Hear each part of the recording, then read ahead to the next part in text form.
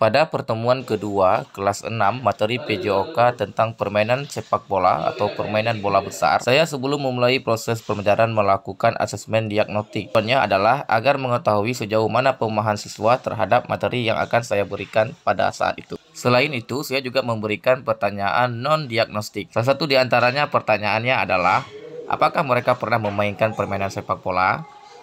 Assalamualaikum warahmatullahi wabarakatuh. Waalaikumsalam kabar semuanya sehat? Sehat. Alhamdulillah. Hari ini kita akan melanjutkan pembelajaran kita permainan bola besar. Ya, permainan bola besar tepatnya permainan sepak bola. Ya. Sepak bola. Nah, eh, kita nanti di sana akan belajar materi passing, dribbling, dan juga shooting. Ya kan? Ya. Itu tiga materi akan kita pelajari nanti. Sebelum kita mulai pembelajaran itu, Pak Fir mau melihat dulu kalian kemampuan pemahaman kalian atau asesmen diagnostik. Ya, dengan menjawab dua pertanyaan supaya Pak Fir nanti bisa melakukan pengelompokan kalian sesuai dengan kemampuan kalian masing-masing. Supaya waktu praktek dan belajar nanti lebih efektif. Paham ya? Nah, tuliskan dua pertanyaan sekarang. Pertanyaan yang pertama adalah ini pertanyaan untuk asesmen diagnostik. Pertanyaan yang pertama sebutkan gerak yang harus dikuasai agar dapat bermain sepak bola dengan baik. Gerak-gerak apa saja supaya Teo cara main bola? Ya. Bola bisa bermain bola dengan baik. Pertanyaan yang kedua, jelaskan pentingnya permainan olahraga sepak bola dalam kehidupan sehari-hari. Pemanfaatnya,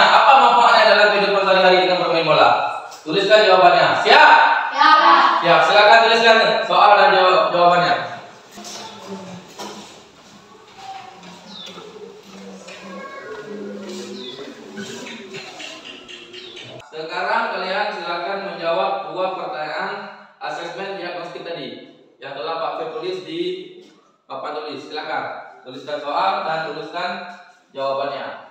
Dikuasai gerak apa saja? Misalnya apa? Berlari dengan baik, gerak apa saja misalnya? Gerak lokomotor, ya kan? Gerak kemarin-kemarin tuh. Silakan diisi. Sebutkan gerak yang harus dikuasai agar dapat bermain sepak bola dengan be dengan benar. Siapa yang tahu? Asalnya apa? Gerak lokomotor, bagus. Kemudian ada dua lagi siapa tahu? Pak Nur apa? Gerak non lokomotor. Satu lagi? Siapa tahu satu lagi? Afna. Gerak manipulatif. Tepuk tangan dulu. Nah, kemudian kemudian jawab lagi jelaskan pentingnya permainan olahraga dalam kehidupan sehari-hari. Kemudian apakah kalian pernah bermain sepak bola? Kemudian apakah pernah mengikuti latihan sepak bola? Silakan diisi. Waktunya 5 menit. Setelah siswa mengisi asesmen diagnostik, saya pun memberi dua pertanyaan tambahan terkait dengan asesmen non-diagnostik. Setelah mengisi pertanyaan asesmen diagnostik dan juga asesmen non-diagnostik, siswa saya minta untuk segera mengumpulkan tugasnya agar saya bisa melakukan pembagian kelompok berdasarkan kemampuan mereka terhadap pemahaman permainan sepak bola. Yang kumpulkan semua. Terima kasih.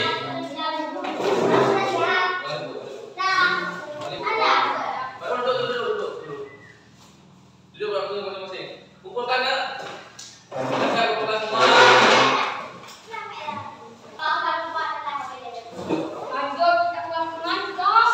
Kumpulkan semuanya.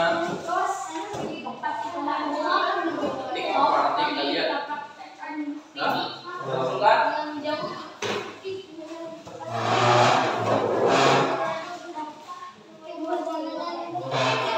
Nah, sekarang asesmen diagnostik eh, kognitif dan juga non kognitif telah kita laku kita lakukan. Pak Fir tadi telah melihat eh, hasil jawaban kalian dan sekarang Pak Fir akan membagi menjadi dua kelompok menjadi dua kelompok ya. Eh, habis ini kita langsung ke lapangan. Kita akan praktekkan eh, passing, dribbling dan shoot, shooting. Kita bagikan menjadi dua kelompok. Kelompok pertama kaptennya berarti berarti nilai tadi? Uh, Pak Nur. Kapten kedua berarti si apa namanya? Aji, ya. Silakan nanti kita berkumpul di sana. Kapten mengarahkan semua ini untuk membersihkan lapangan, ya. Kemudian membawa perlengkapan olahraga, kon dan juga bola. Silakan kita bertemu di lapangan. Selanjutnya masuk ke dalam kegiatan inti. Sebelum mulai proses praktek kegiatan dribbling, passing, dan juga shooting, saya membagi menjadi dua kelompok. Sekarang kita sudah sampai di lapangan. Saatnya kita lakukan pembagian menjadi dua kelompok. Menjadi, menjadi dua kelompok. Ah, sebelah kiri Pak Fir Fathur, kelompok satu, kelompok dua silakan Ati. Di samping sebelah kiri Pak Fir di sebelah kanan. Ah, kemudian David silakan masuk ke bawah belakang Fathur. Ayah belakang sini. Belakang sini. Ah, itu sini. Di Pak Abdul sini. Monika sini. Ah, sebelah sini. Nah, ini sini. Dalam proses pembelajaran di kelas 6, ada satu siswa yang memiliki kebutuhan khusus. Siswa tersebut pun hanya saya beri tugas untuk mengamati teman-temannya dalam proses pembelajaran kali ini. Sekarang pembelajarannya adalah kelompok Fathur akan melakukan dribbling. Ya. Kemudian di kelompok 2 akan melakukan passing bola. Tapi karena mana bola tadi coba ambil? Satu orang coba ambil Fathur bolanya. Namun, karena aset yang tersedia hanya sebuah bola, maka kami terpaksa harus menggabungkan kedua kelompok ini dalam satu permainan. Pertama, kami mempraktekkan permainan passing, kemudian dribbling, dan kemudian dilanjutkan dengan shooting. Tapi yang penting Setelah itu, baru kami mempraktekkan kegiatan Paham? game atau permainan Ya, sepak bola. aset yang kita gunakan adalah lapangan bola, kemudian ada bola, ada kon, ada bola kecil juga, tapi nanti kita lihat apakah digunakan atau tidak. Ya, yang penting kalian mengerti dulu bagaimana teknik-teknik bermain sepak bola dalam permainan bola besar sepak bola. Paham? Paham. Oke, langsung kita akan praktekkan sekarang. Sebelum kita praktekkan, ada yang mau bertanya atau mau menyampaikan? Tidak ada. Ada yang mau bertanya? Tidak ada. Oke, langsung kita praktekkan sekarang. Sebelum mulai praktik, saya menanyakan kepada siswa apakah mereka sudah memahami materi yang saya sampaikan sebelum mulai mempraktikkan kegiatan pada hari itu. Nah, oke. Setelah berdoa, kami pun melanjutkan aktivitas kegiatan inti, yaitu melakukan passing. Kemudian nanti dilanjutkan dengan dribbling dan juga melakukan shooting. kakinya jangan lembek, diikat pukul. Tendang yang aku, yang akurat. Ini contohnya, tapi praktekkan. Jangan kakinya lemas, tendang. Lebih tendang, putar ke belakang, lari di belakang. Di belakang. Jadi. Nah, coba tendang balik, Pak Fir. Ini Pak Fir sudah siap. Masuk arti ambil, tendang apa? Ya, bagus. Ya, seperti itu terus sampai ah, sampai habis. Ya, silakan arti dulu. Lakukan. Nah, Pak Fir harap lakukan dengan baik dan benar. Ya, terus hati di belakang. Ayo terus. Terus kali, kali kali baru tendang. Ya, bagus. Ayo. Ya, emang yang kurang. Tendang dulu, pasang kaki. Ya, bagus. Ambil bola, tangkap bola. Pasang bola dulu.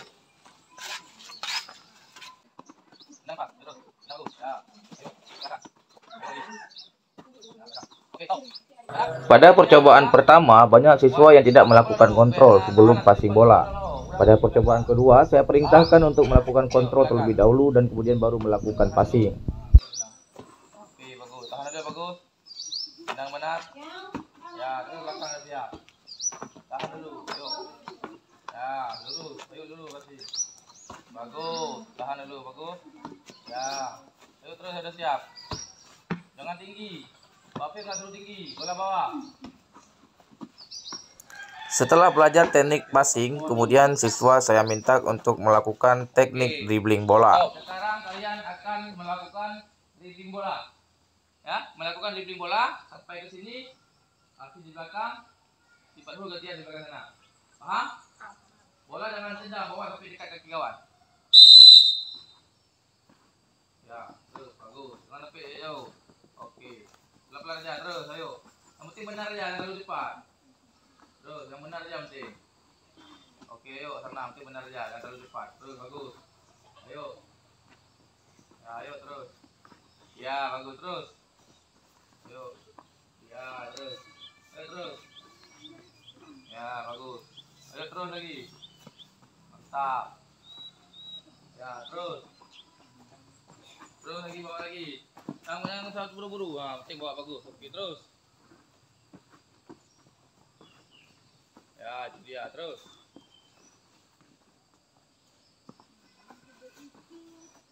Okey, terus. Ya, siap terus. Terus. Okey, terus. Ya, terus. Ayo. Korang dirikan kon, dirikan kon Hafiza.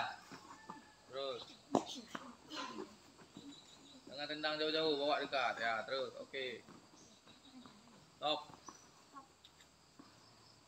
Balik ke kelompok masing-masing. Sudah, Du? Sudah dua kan?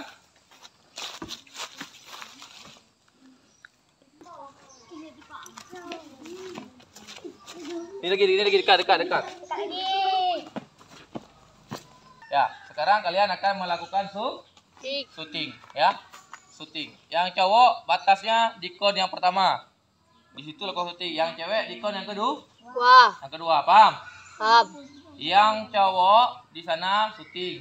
Yang cewek di sini batas syutingnya boleh bawa ke sini, boleh tendang. Paham? Nanti gantian silakan baris. Ayo. Ya, terus ambil bola, Ci.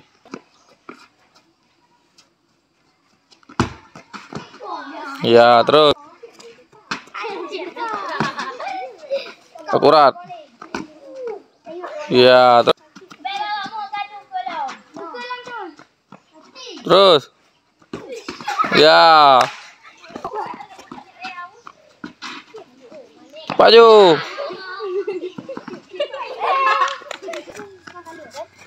Pelan-pelan terus.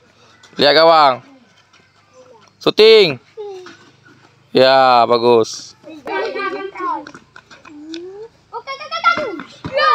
Bagus. Terus. Eh, tenang.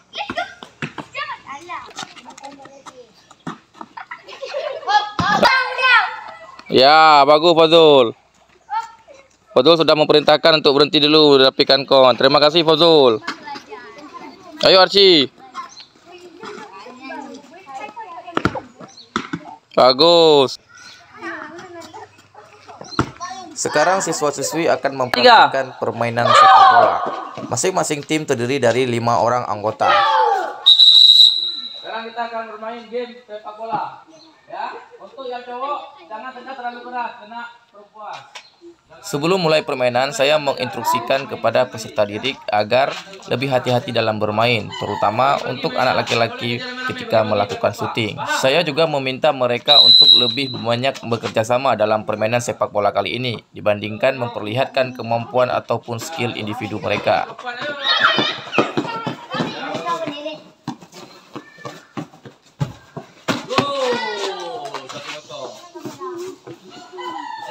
Yang jangan berdiri aja, kejar bolanya. Ini enggak ini, ayo. Enggak kuat. minyak. Ayo bagi bagi Ati. Ayo main. Ayo Ati. Ya terus. Ayo sana sana. Oh. Mantap mantap mantap mantap. Satu sama. Kalau mau ganti Alian main boleh juga Ati. Hidung yang hidung cewek. Apa? Kau biar dia dulu yang hidung. Yang hidung tino hidung dom dom. Ayo main jaga jaga tepi jaga tepi. Ya ayo. Bergerak semuanya. Semuanya bergerak ayo. Ya. Jaga jaga jaga jaga ayo jaga. Jaga bagus. Jaga juga tu. Jaga udah jadi. Ya.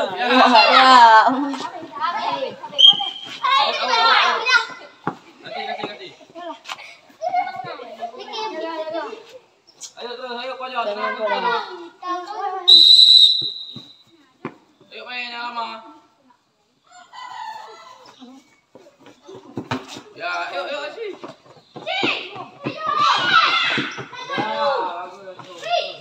Jaga ni. Ya, bagus. Bagus tu.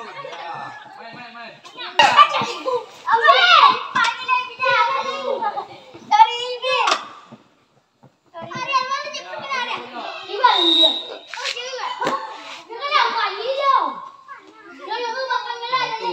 lagi leadernya. Pelajari, yuk, pelajari, pelajari bola. Pelajari bola, pelajari bola, pelajari bola. Ayo, tak bola. Yo, yo, naik, naik maju pelajari bola. Ayo, ayo, ayo. Terus. Pelajari bola, terus. Terus, terus, terus. Ayo. Ayo, bagus. Luput Ustaz.